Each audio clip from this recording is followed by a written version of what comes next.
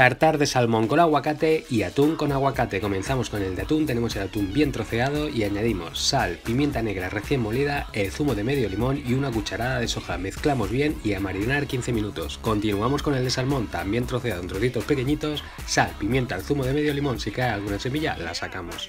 Una cucharada de soja y a. Dos aguacates troceados igual que el salmón y el atún. Una vez troceados, uno para cada tartar, vamos a emplatar un plato, una base de lechuga y nos vamos a ayudar de un molde cilíndrico metálico. Vamos a poner el aguacate y encima el atún y en el otro encima el salmón. Una vez acabados, vamos a poner por encima del salmón y el atún sésamo. Y así de sencillo hemos hecho los tartar de salmón y atún. Espero que os haya gustado. Buen provecho y hasta luego.